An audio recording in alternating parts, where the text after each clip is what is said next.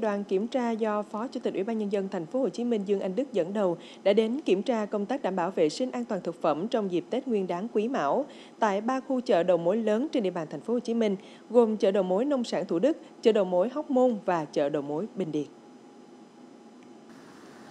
Đại diện ba chợ đầu mối cho biết đang thực hiện nghiêm túc việc kiểm tra, truy xuất nguồn gốc hàng hóa trước khi nhập chợ. Bên cạnh đó, các chợ tiến hành lấy mẫu định kỳ, đột xuất để kiểm tra các chỉ tiêu an toàn thực phẩm đối với thủy hải sản, thịt heo, kiểm tra dư lượng thuốc bảo vệ thực vật đối với rau củ quả. Chúng ta có thể là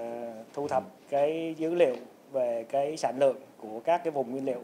Và ở đây chúng ta rất rõ là chúng ta bằng quản lý ba chợ đầu mối chúng ta biết chắc luôn là một đêm là cái nguồn hàng từ vùng nguyên liệu nào về. Và khi mà chúng ta thấy rằng là cái số liệu này nó chênh bất hợp lý là chúng ta phát hiện ngay ra ngay là có thể là có vấn đề thì à, lúc đó chúng ta sẽ có cái điều kiện để chúng ta tập trung tập trung chúng ta kiểm soát. Cái thứ hai nữa là phải quy trách nhiệm và nâng trách nhiệm của tất cả các chủ thể liên quan. Các cái chợ này chúng có thể chúng ta phải tính toán lại và phải điều chỉnh lại cái nội quy chợ quy chế chợ. Anh vi phạm lần đầu thì tôi xử anh như thế nào? Vi phạm lần thứ hai lần thứ ba cắt hợp đồng ví dụ như vậy. Thực tế kiểm tra cho thấy, vấn đề quản lý trong chợ đã được thực hiện tốt nhờ sự phối hợp chặt chẽ giữa ban quản lý chợ và ban quản lý an toàn thực phẩm thành phố Hồ Chí Minh. Tiểu thương trong các chợ đầu mối tuân thủ quy định đảm bảo an toàn thực phẩm, trong đó có xuất trình được hóa đơn chứng từ chứng minh nguồn gốc, xuất xứ của thực phẩm, cũng như các kết quả test nhanh không chứa chất cấm vượt mức cho phép. Tuy nhiên, vấn đề an toàn thực phẩm tại các điểm bán tự phát xung quanh chợ đầu mối lại chưa thể kiểm soát. Thưa quý vị, ghi nhận tại chợ đầu mối Hóc Môn, lượng hàng phục vụ cho những ngày cao điểm Tết năm nay tăng khoảng 20% so với ngày bình thường và giá cả cũng có tăng nhẹ và đảm bảo lượng hàng hóa đầy đủ phục vụ cho người dân. Tuy nhiên, có một vấn đề là có rất là nhiều điểm bán hàng tự phát xuất hiện xung quanh chợ. Việc này thì gây khó khăn cho công tác quản lý à, trật tự an toàn cũng như là vệ sinh an toàn thực phẩm.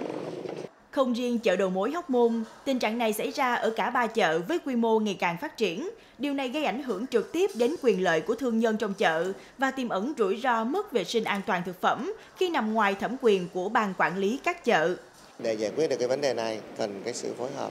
giữa các bộ phận, đặc biệt là vai trò của các địa phương là hết sức quan trọng.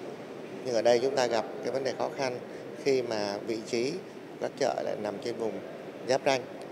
và khi mà chúng ta chưa kiểm soát được những cái chợ tự phát này thì cái nguy cơ về mất an toàn thực phẩm là vẫn còn do đó cái việc mà nỗ lực chấn chỉnh tổ chức lại à, cho thật tốt giảm thiểu đi các cái nơi tự phát thiếu kiểm soát là một trong những cái mục tiêu mà thành phố sẽ tập trung trong thời gian tới.